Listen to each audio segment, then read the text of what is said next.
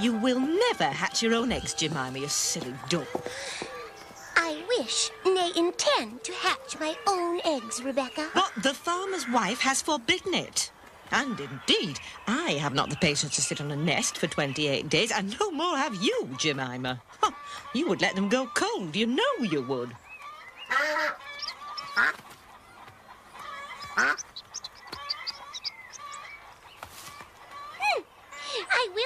them all by myself if I have to make a nest right away from the farm. Hmm, they will see. They will have to apologize. Not the patience, indeed.